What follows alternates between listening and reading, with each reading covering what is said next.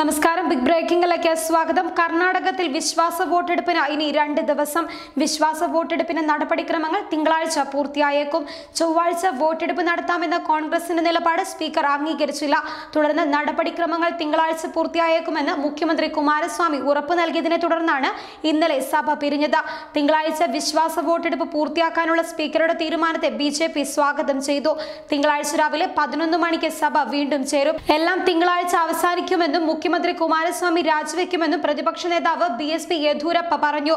അതേസമയം തുടർച്ചയായി രണ്ട് നിർദ്ദേശങ്ങൾ നൽകിയിട്ടും ഭൂരിപക്ഷം തെളിയിക്കാൻ കുമാരസ്വാമി തയ്യാറാകാതിരുന്ന സാഹചര്യത്തിൽ ഗവർണർ എടുക്കുന്ന തീരുമാനം നിർണായകമാകും. കേന്ദ്ര ആഭ്യന്തര സെക്രട്ടറിക്ക് വാജ്പായ് വാല ഇന്നലെ ഇടക്കാല റിപ്പോർട്ട് നൽകിയിരുന്നു.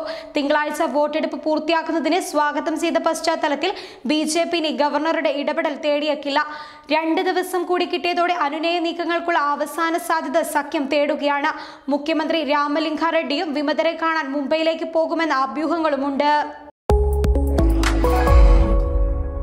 മോൾക്കുള്ള കമ്മലും വളകളും എവിടെന്നാ വാങ്ങിച്ചേ?